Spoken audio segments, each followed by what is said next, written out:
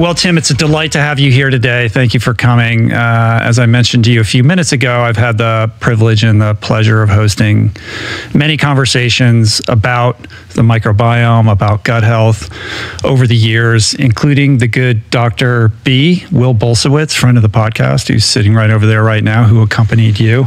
Um, but today is a particular honor uh, because as Dr. B insisted I make clear, uh, you truly are the uh, world's leading authority in this field at the cutting edge of all this fascinating emerging science uh, that's creating a new way of learning about how our bodies work, how they operate. Um, in the world and it's very exciting. So not only are you somebody who's innovating new research, uh, you are also pioneering this this fascinating field that I want to learn more about that we're calling citizen science, which we're going to get into. But I think the best place to begin is just to understand what got you interested in this field, kind of the origin story behind this, and kind of defining our terms uh, with respect to you know what we're talking about when we're talking about gut health and the microbiome. Okay, well, it's a great pleasure to be here. Big fan of the podcast. Um, so, very excited. And my journey's been a bit of a long one. So, I. We got time. Plenty of time. Okay, so. Um, because I'm old, so that that's what makes makes one's career longer. Um, I started life as a, a, a doctor, went to medical school, and got interested in epidemiology, which is a study of populations. Mm-hmm. Uh, but there was no real jobs in that, so I trained as a rheumatologist, uh, studying bones and joints, and uh, made my way up training in that in, in London, in, in medical schools. And on the way, I did a master's in epidemiology. I was still interested in that side of why diseases happen in populations, this sort of detective in me that wanted to find out why things happen.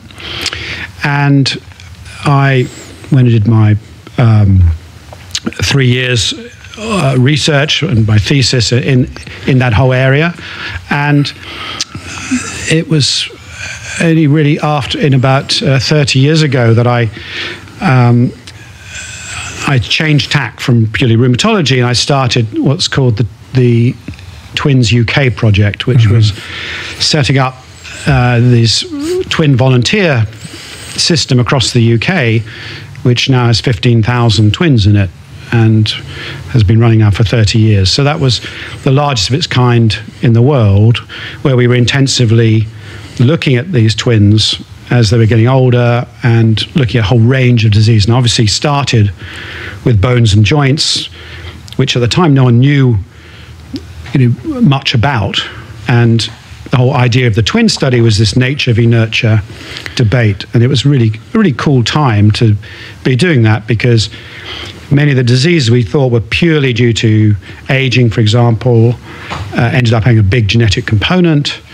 And many things that we thought were genetic ended up not being particularly mm. genetic. So we found that you know, back pain was three times more genetic than breast cancer. Interesting, and also to interject here, uh, you know, the the state of science with respect to what we understood about genetics in 1992 is very different than it is today. Yeah, it's hard to believe how much our opinions have changed, and how you know the scientists and, doctors of the time have had these fixed views about everything was degenerative it was just everything was wear and tear mm-hmm. and your body just wore out and that was a common thing for anything to do with aging. And the idea that were these big differences between people really wasn't really considered. So it it was really quite exciting to be able to write these pivotal papers to disprove a lot of you know clinical nonsense that had been talked about and and why some diseases were given more priority than others because they were more exciting, they were sexy diseases, others were sort of dull, aging diseases. Mm-hmm. So that was the time we were living. And it was also just as the sort of genetic revolution was starting, so we were starting at gene markers, etc. But um, it, it, took the first 10 years was really convincing people that there was a genetic component to common diseases. That, up to that point, really only been the rare ones that people had focused on or the sort of exciting ones. So that was a cool time, and I, and I uh, came out of my little field of you know osteoporosis and arthritis and back pain into all the other common chronic disease of aging, and that uh, led us to publish all kinds of fascinating work and made me realize that I, if you had a model that worked, you might as well study all the interesting stuff you can, not be stuck mm-hmm. in a in a specialty like most of my colleagues mm-hmm. remain. So, from what I understand, I mean, obviously, when you're studying twins, it's fascinating to see a difference in outcomes between two different people that share uh, the same genetic makeup, and then trying to figure out like why those, what's driving those the, that differential, right? Um, what aspect of their nurturing it, or their environment is you know compelling one to you know become ill and the other one to remain remain healthy. Um, but was there some sort of epiphany along the way that triggered this fascination that led you into the microbiome, or you know, how did that kind of evolve out of you know studying these pairs over so many years?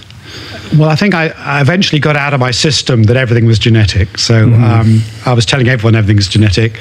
It turns out that 50% is the of everything. You name any disease, 50% roughly is genetic. And that got a bit dull because uh, I. And it's so not got, a very satisfying no, it answer. Wasn't, it wasn't, and it was useful because we, you know, then went on to find genes, but uh, as it turned out, they weren't that useful either, other than maybe for long-term drug targets and things. But uh, for me, I started looking more closely at why identical twins, who were basic genetic clones and lived the first 18 years of their life completely together, ended up often dying of different diseases. So the aging process was different. There was no real genetic base of longevity. It was very small. One would die of cancer, the other one wouldn't. Uh, one would get autoimmune disease, the other one wouldn't. One would be depressed, one wouldn't. So I was suddenly intrigued why we were seeing this when you know all the previous stuff was showing it was quite is seen to be genetic, and yet the identical twins, which is this perfect model of these, it's like you know all of us have this shadow person that can be doing in a, living in a different environment to us. Uh, what happens to them? It's like your own little controlled right. study, and so. I was fascinated by this, and I was, I was then determined to try and look and see what were those factors. Was it gene mutations that were different between them? Turned out that wasn't the case.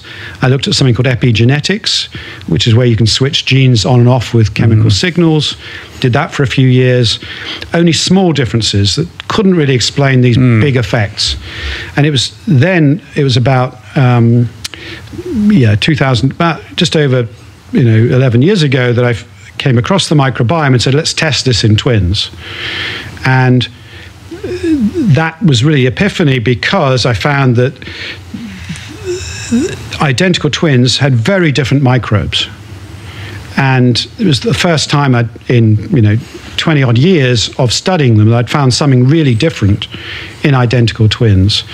And suddenly I said, wow, that's that's kind of that is really cool because why should they be different? And yet, if they are different, that could explain why we, we all get different diseases slightly what we thought was randomly mm. because of this whole new organ in our bodies that is behaving very differently in all of us and essentially producing lots of different chemicals. Mm-hmm. So I think it was a, an aha moment both for realizing you know this what we thought was this randomness of disease but importantly also changed um, my perception about f- how food works as well, and why that why in a way the whole of nutrition advice had been so muddled and, and confused and seemingly with poor science because we'd assumed everyone behaves the same. Once that food goes into you, you know, it's going to behave the same way in everybody. And right. suddenly knowing that even in identical twins, they only share maybe a quarter of their microbes means that in response to the same food, they're all going to respond very differently. So that was the, the theoretical moment when I said, aha, this could be really interesting. I'm going to spend you know, the next at least decade working on this rather than all these other areas which I could work on to try and get to the bottom of it because I think it can be much bigger than just looking at a few microbes. Right. So it is quite a watershed moment or a paradigm shift to realize or, or, or to kind of reflect upon this conventional perspective, which is our genetic makeup is what differentiates us and it becomes this predictor of a variety of things. But in reality, the genetic differences like we're much more genetically similar than we are different right? And that's a very you know set number of variables. It's still incredibly complex but it feels very simplistic in comparison to the diversity of the microbiome and understanding that maybe a better way to look at it uh, is through the differences in in you know these trillions of microbes that are dramatically different from one individual to the next irrespective of similarities in their genetic makeup. Like and using that as a lens and then trying to to sort of wend that or tie that to certain outcomes as a predictor seems like an impossible knot to untie because of the infinite number of variables involved. Yeah, it's it's sort of mind-boggling the complexity of it, but I think it's it's becoming clear that yes, there are lots of different strains and microbes and you know trillions of them, but the thing that do does bind them in common is they are essentially mini pharmacies they are taking food as their sort of consumables and pumping out all kinds of chemicals that are unique to us and, and our and our system mm-hmm. and in completely in different amounts and so there is a certain amount of redundancy in these microbes but the difference and I think that the key difference is not so much the microbe but their the products they make the chemicals and that's that's the essential uh, for me, the big difference is understanding food and nutrition, not as macronutrients or these rather old-fashioned ways of looking at it, but in in in, a, in chemicals mm-hmm. that we are converting one set of chemicals as food by our microbes into these other chemicals which have massive effects on our immune system, our brains, and our, our bodies and our health. And uh, I think as complex as the microbiome is, it can be simplified by understanding those those chemicals and this whole science of metabolomics, which is the study of studying these metabolites. Mm. So I don't think it's an impossible uh, scenario at all. And luckily, because of the genetic revolution, we have the tools now to measure our microbiome incredibly accurately and actually uncover you know, 75, 80% of the of the microbes that are in there, which is pretty, you know, wow. wouldn't have believed that possible. Yeah, yeah, yeah, that's unbelievable. 10 years ago. And the cost has come down from $5,000 a sample, you know, to less than $100 a mm-hmm. sample in, in, you know, in 10 years. So it's, it's been an incredible journey. And, you know, we're just, really scraping the surface of what we know about these things, but they have huge potential um, in all kinds of areas, not just in nutrition, but in sure. pharmacy and uh, fighting disease and, and everything else because of this, all these incredible chemicals they're producing all the time that we co-evolved with. So before we even go any further, it would probably be good to just define what you mean when you say the microbiome. Like what are we talking about specifically? In general terms, the microbiome is the term we use for the community of microbes, microorganisms that live in our bodies, and we generally refer to the 99% that live in our lower intestine, our colon. And the microbiome really refers to the genes of those microbes. Um, should technically be called the microbiota, mm-hmm. but we just use them as microbiome because I'm not fussy about words, and um, everyone now understands that. So these, there are some dispute about how many there are, but there are probably a there are certainly trillions, maybe 100 trillion or so, roughly the same numbers of cells in our body. Most of them are the ones we know about are bacteria, but there are also these other uh, related species called archaea, and there are fungi and uh, yeasts, and there are viruses, five times as many viruses as bacteria that feed off them, called phages, which also have a role in health. And there are even parasites that virtually all of us have to some extent in our guts, and some of which turn out to be beneficial as well. So it's this whole community, a bit like an ecosystem, that is living within us, and it best considers a virtual organ. Stick them all together, they weigh about two kilograms, same as your brain, and they're basically, as I said, these mini pharmacies pumping out chemicals which send signals all over a body, but particularly to all the immune cells, the majority of which are immune cells, are actually lining our gut. And so they interact with those immune cells on a constant basis, signaling whether to uh, you know, be aggressive or be passive and modifying them, tuning them up and down. That helps fight aging, helps fight cancer, sorts out allergies, etc., um, etc., infect, fights infections. And they also produce lots of chemicals that might go to our brain um, responsible for serotonins and um, many other pathways in, in the brain as well. So it affects our mood and obviously our metabolism and how we digest food, mm-hmm. amongst others. And right, like so many infinite, things, infinite right? Things. But this idea that that our immune system really resides in our gut is kind of a shocking revelation. Like I always understood that our immune system originates in our bone marrow, and you know this yeah. is where we're producing you know, all these cells, and school. yeah, this is why yeah, this is, and and and and why is it that we didn't begin to really even put these pieces together in a methodical way until I don't know the early 2000s. Like it seems like you kind of got into this around 2011, right? Like mm-hmm. this is all extremely recent because prior to that, conventional wisdom was sort of like, you know, we got to get rid of parasites and all this stuff. This is these these these are plaguing the human body, and at some point, somebody figured out like actually we're living symbiotically with all of this,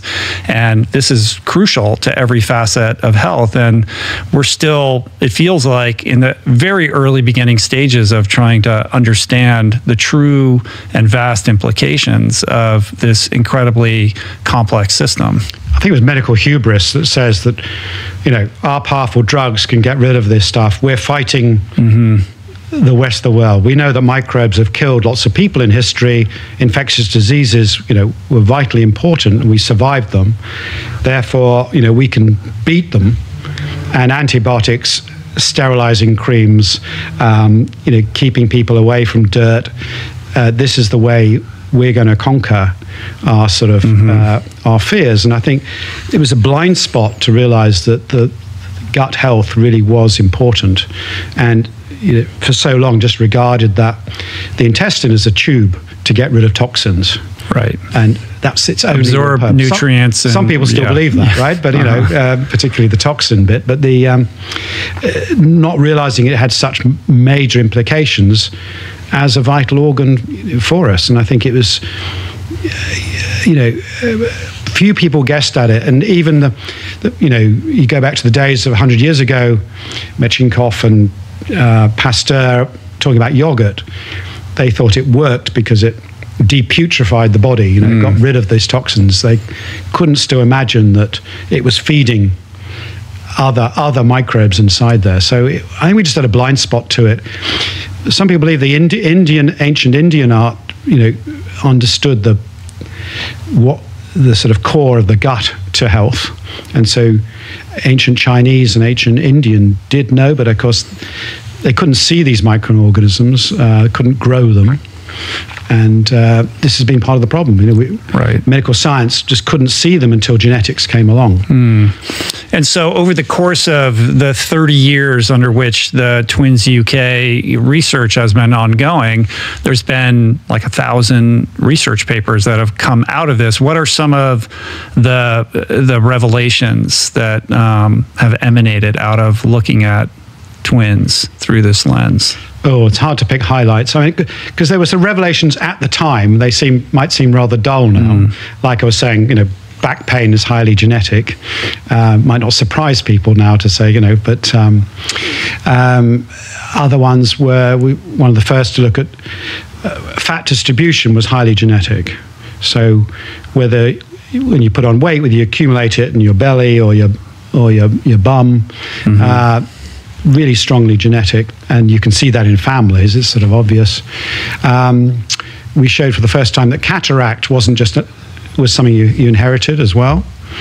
Um, we looked at um, early risk factors for melanoma. Found that because um, everyone talks about melanoma, they're always talking about sunshine, which is a really overrated risk factor for melanoma. It's actually highly heritable about whether you have these lots of moles. Mm-hmm. You have light skin and lots of moles, much stronger. Uh, genetics uh, than anything else, and so you can divide people into those groups. And twin studies helped us with that, and uh, we did uh, sort of fun stuff. We found sense of humor wasn't particularly genetic. Um, political views were.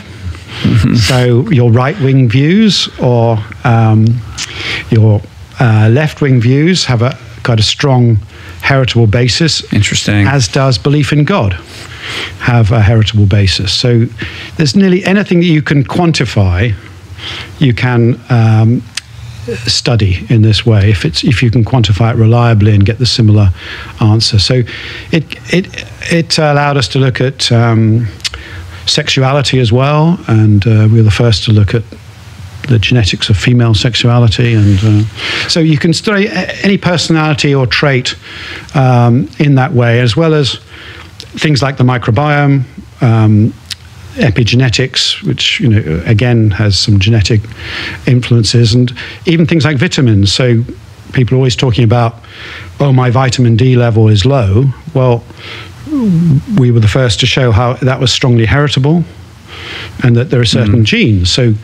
50% of the differences between, say, our vitamin D levels are going to be due to differences in our genes. So, what's normal for you isn't going to be normal for me. And how does epigenetics play into that? From my understanding, epigenetics basically um, means uh, the potential for genetic expression, and also this idea that. Um, that we're we're kind of storing genetic information passed on from our ancestors that is perhaps latent, but given the right set of circumstances, could be expressed. Like how you know that that seems like a sticky wicket and very complicated to kind of understand. And there's a there's a certain aspect of it that's that's sort of mystical in terms of like um, the inheritance of of like ancestral trauma and things like that. Like how does that play into how you think about this and and and, and study populations. Well, I wrote a book about this called Identically Different, which nobody read, but was, mm. I think it was a great book, but, uh, you know, as often the way. And went into a bit of this and a bit theorizing about it. And it's, it's been called soft inheritance. So it's an inheritance, we think, think it's an evolutionary adaptation that allows in times of stress or famine or some emotional stress to just um, switch the genes on or off in a way that uh, takes you on a different path mm-hmm. and to some extent. And the general belief is that it takes so long to change your genes normally that you know your whole family would have been wiped out by that time you'd made that switch. But if this allows you to i don't know there's a temperature change so allows you to switch so you gain more weight or um, just the fact that your family might all be switching their genes so that they end up more different so they're not all going to be wiped out by the same um, environmental stress mm-hmm. or infective mm-hmm. agent uh, makes some sort of sense. So, but it just lasts for a couple of generations and then fizzles out. So, it, when I was looking at it, I did interview lots of identical twins who went through stress, for example, and. Uh, it was quite remarkable that, say, you know, a very major family breakup or something when the teenage twins, one, for example, would uh, responded by overeating, and got very obese, and the other one had an eating disorder and ended with anorexia. Mm. So they were acting in response to a stress, but very differently, probably because the uh, in theory, you know, the, the genes were were switched and doing something, but there was something in our there's something in our evolution that allows us to have these switches mm-hmm. and uh, make you depressed or happy and these things. So I think in response to stress, it does make some sense. Um, and there are lots of stories about um, after the war, Dutch hunger famines, um, whole populations having these stresses, which uh, for several generations had effect on their mental health or others right. due to these change in genes. So it's a lovely it's a nice theory, but it, has been really hard to prove it in humans. Mice, it sort of works quite well, is often the case. Uh-huh. Um, and you can change mouse hair color, for example, just by giving them different vitamins and things, switching them epigenetically or giving them alcohol or whatever can't do that in humans. So it's got to be so frustrating to see, you know, amazing kind of dramatic results in mice studies and not be able to replicate that in humans. I mean, that seems to be kind of like the recurring theme well, across all areas of science. Millions of yeah. scientists uh, have, have, yeah. have been frustrated, you know, that's, yeah. so that's why I didn't get that Nobel Prize. You know, that's uh, no, humans just don't behave mm. like mice. It's very annoying. Right, and the mice studies are what you know generate a lot of hyperbolic headlines in terms of breakthroughs. Oh, they still do creates a lot of consumer yeah. confusion, and and they still do, and and, yeah. and, and it's similar in the microbiome. It's not not right. very. It's right. not different, and there were, you know, some misleading studies in the early days of the microbiome that just. Um, you know, exaggerated the potential effects in, in humans. So they were, you know, I think they were accurate, but they just, you, from mouse studies, you can't really get an idea of the scale of the effect in humans. Mm-hmm. You don't know if it's trivial or it's really large, and I think that's the other sort of problem about extrapolating. And uh, you know, we're not we're not rodents, and um, we have very different lives, and we eat different things, and uh, so uh, yeah, more and more. Uh, you know, we realized that a lot of these mouse studies were flawed, and of course, you can do unlimited number of mouse studies you know, you, you got labs, well-funded labs, they can afford to mm-hmm. slaughter thousands of mice, and they don't necessarily report every experiment they do. Right. And uh, that's the other problem, mm-hmm. which human trials they take so long to do. You, you know, whether it failed or not, you're going to write it up because it's yeah. uh, it's important. Yeah.